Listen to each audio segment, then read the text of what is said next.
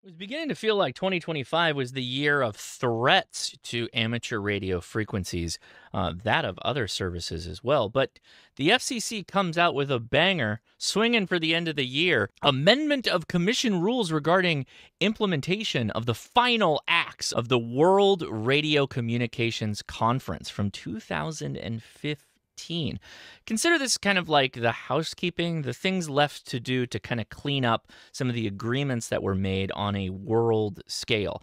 Yes, countries do get together and they make agreements on how radio frequencies should be used, as some of these use cases extend into products that will be available across into different countries, or the use of frequencies like this one allocate band of 5351.5 to 5366.5 kilohertz uh, to the amateur radio service, right? Those frequencies go well beyond a country. Now you might be thinking to yourself, 5351.5 kilohertz. What the heck is that? Well, that's a part of the 60 meter band, which, and for a few reasons, it's because this is a band that's not really used by a lot of ham radio operators.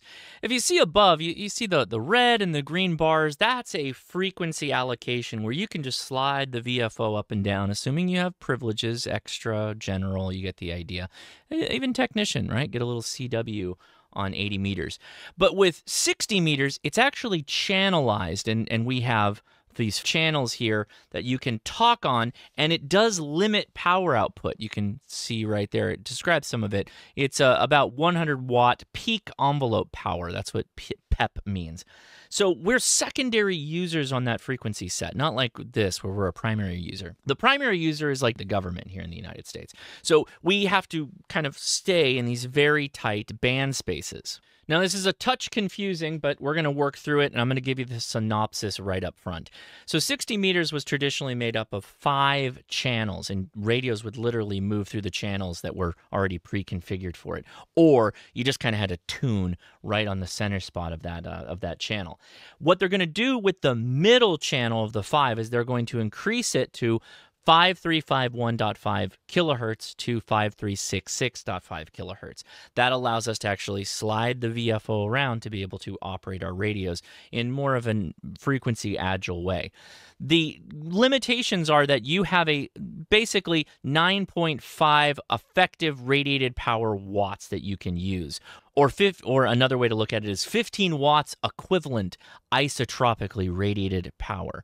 You still get the 100 watts of peak envelope power on the lower two channels and the upper two channels, but that middle portion, which is going to again be frequency agile, you'll be limited to about 10 watts. QRP, putting it more visually, these first two channels will remain exactly how they are. The middle one will take up this new kind of larger frequency space, and then the last two will be the standard 100 watt PEP channel. So, first two, 100 watts, middle one, about 10 watts, and then the last two, 100 watt PEP power. And for those that are are wondering why am I saying PEP power, peak envelope power? Well, the 100 watts is against a standard, in that case, a half wave dipole. So if you are somehow getting more characteristic gain in a certain direction, uh, then that would be above the 100 watts PEP power if you were putting 100 watts into the feed point. So you would need to bring down the power output of your radio to bring it within that 100 watt peak envelope power of a half wave dipole, right? So if I had some crazy five element gain on 60 meters, I know this is a little bit unreasonable, then I'd be getting a ton of power in this forward direction. I would need to duck that back so that it would be 100 watt peak envelope power out of that gain antenna. So just think generally end-fed half waves, dipoles, things like that are generally going to be about 100 watts output. But if you're a little concerned, then just dump it down a little bit because we are secondary users, and I don't necessarily want to piss off the government with my use of radio as a secondary user, meaning they can kick us off at any time. And you got the FCC opened up comments discussing this frequency allocation of 60 meters, and the ARRL came in there with a petition for rulemaking that came in 2017. And they recommended that the entirety of the band be open up to the amateur radio operators and that we keep our 100 watt PEP power output, which would be, you know, that would be the way I'd want it. But the NTIA, which uh, we are going to clarify what the heck NTIA is, the National Telecommunications and Information Administration added their own comments, adding to the footnote of WRC 15 final acts by allocating the band spread that we talked about, 5351 through 5366 kilohertz, to the amateur radio service on a secondary basis. And they recommend removing the existing channels. So the two up, we keep that middle band and then the two below, and then restricting the maximum power to 15 watts EIRP or 9.1 15 watts ERP. FCC, doing us a solid, decided to keep the channels, so the two above, two below, and then keeping the 100 watt PEP power to go along with those channels, giving us the new frequency spaces and setting the power limits there. So they did give a little bit on both sides, but the uh, NTIA did at least get the power output restriction that they were looking for. Not sure why, but um, okay. Now, when it comes to keeping the channels or getting rid of the channels, the FCC cites that it was actually you commenters adding your thoughts on this that helped prevail and why we maintain them. Mentioning that 60 meters is a really nice band in between 80 and 40 meters that allow for propagation that is sometimes not possible with 80 meters and 40 meters. And that 60 meters has for a long time been reliable for emergency communications. And so that's why they said, You sold me. You get to keep the channels and enjoy some new frequencies. Gotta love that. Now, 60 meters is an interesting one because it's multi use, meaning different services have access to it. In this case, military auxiliary radio systems, or MARS, or SHARES, which I didn't even know about this one, shared resources, high frequency radio programs are used during disasters. And yeah, they, they practice and they use the space as well. And then you have RACES, the Radio Amateur Civil Emergency Service, the Amateur Radio Emergency Service, or ARES. So there's a number of groups, a lot of them amateur radio related. But commenters were advising on what they thought those channels should be used for, if ham should continue to have access to them. Some people even went so far to say is it should only ever be used during an emergency. And the FCC also doing a solid and I think reiterating what the point is of the amateur radio service says, however, most commenters on this issue do not support restricting the bands to emergency use, and some state that while emergency use of the band by qualified amateurs remains important, non emergency use gives amateurs an important frequency band for continued communications. And the FCC says to that, we find that restricting the existing allocation to disaster response would deprive the amateur community of an important means of communication, especially in instances where ionospheric propagation characteristics at alternative high frequency bands render render them potentially unusable. So well said. Yeah.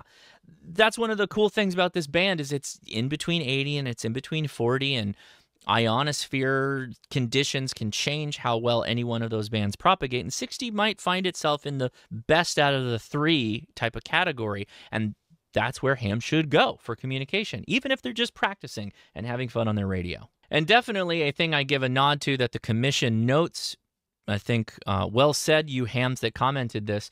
But the use of channelization is kind of mm, not helpful to the amateur radio operators, primarily because we use all kinds of different emission types or different modes of operation. Think continuous wave, CW, Morse code, phone, or digital. And so having a way that we can move up and down the frequencies with a little bit more agility is very, very good for the types of modes of operation that we use. We don't want to be channelized in one space and not have much area that we can wiggle around. It's a lot better if we can just kind of have our, our borders and we can play within that space fairly. Now, before you get too excited, this is still limited. This new band is still limited to general class license holders or higher. So technicians, it's time to go ahead and get your upgrade if you want to experience this new frequency allocation that we've received.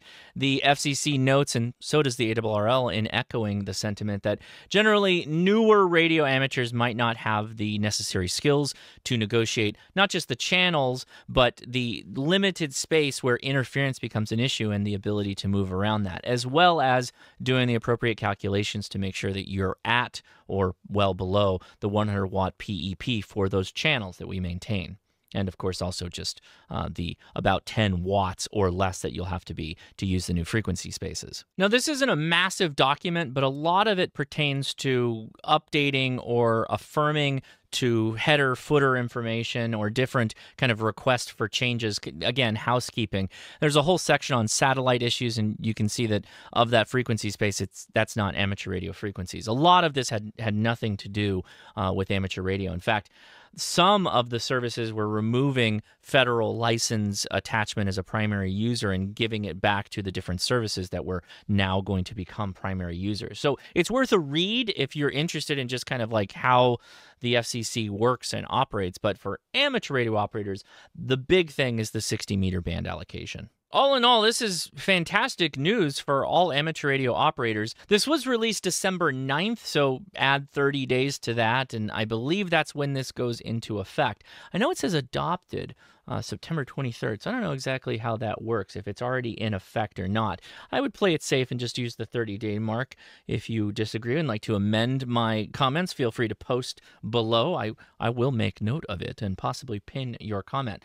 All in all, this is great news. The 60 meter band is one that I seldom played in, largely because I didn't have much interest in channelized HF. But with new frequency allocations in this area, you better believe we're going to be taking a lot more look at that and I hope to see you out there as well.